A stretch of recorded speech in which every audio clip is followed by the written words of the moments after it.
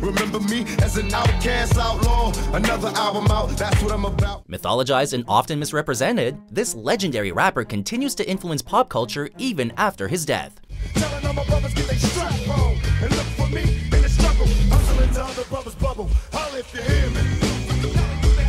Welcome to WatchMojo.com, and today we're counting the most interesting facts about the late Tupac Shakur. Before we begin, we publish new videos every day, so be sure to subscribe for more great content.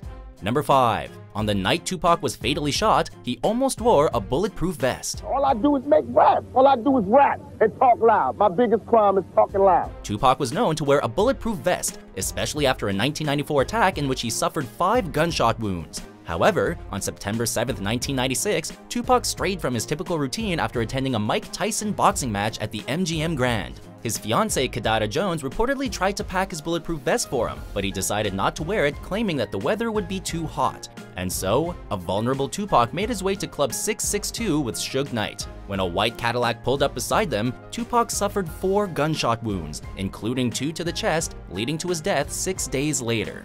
I'm thinking they're dead. There's absolutely no way in the world that these two guys are alive. Number 4. A teenaged Rashida Jones wrote an angry letter to Tupac. At the time of his death, Tupac Shakur was engaged to the aforementioned Kidada Jones, the oldest daughter of music producer Quincy Jones. Three years prior though, when the two were complete strangers, Tupac harshly criticized her father's personal life in Source magazine. Kidada's teenage sister Rashida was so upset that she confronted Tupac with an impassioned public response letter, defending her father's legacy while reminding of his relevancy as well. I've recorded a little bit. I'm really nervous about that. My, Why? Because my father's a musical genius. Tupac later apologized to Rashida's sister Kidada in person, which ultimately led to a relationship and engagement. Meanwhile, Rashida embarked on an acting career that culminated with notable roles on the NBC sitcoms The Office and Parks and Recreation. Number 3. Tupac secretly dated Madonna. Tupac's outspoken persona made him a polarizing figure. Behind the scenes though, he established strong bonds with the women in his life, including close friend actress Rosie Perez. Lady.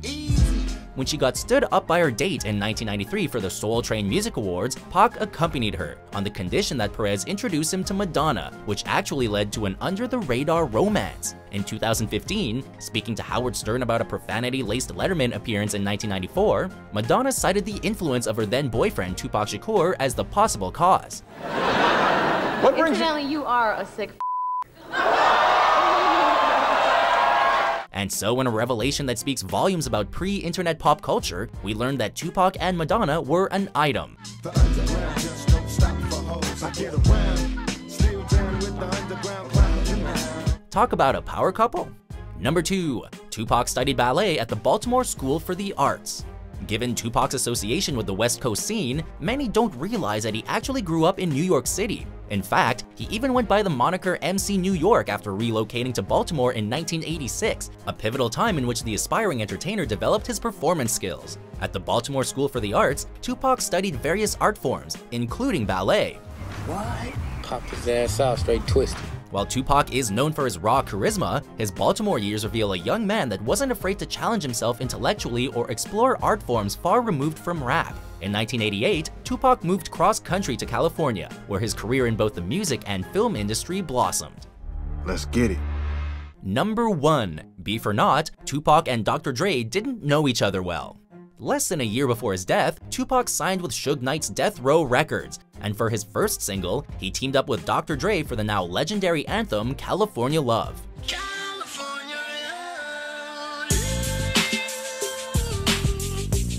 At the time, Dre was on the verge of leaving to begin Aftermath Entertainment, and so, the two men quickly went their separate ways, without ever developing much of a rapport one way or another. In keeping with the rules of rap label loyalty, however, Tupac soon began throwing insults at the Doctor. Dre has since acknowledged that he was never close with Tupac, and despite the popularity of their famous collaboration, it seems to have been business more than anything else. I hear that you made a few enemies, but when you need a friend, you can depend on me. So, which of these facts did you find most interesting? Check out these other great clips from WatchMojo and subscribe for new videos every day.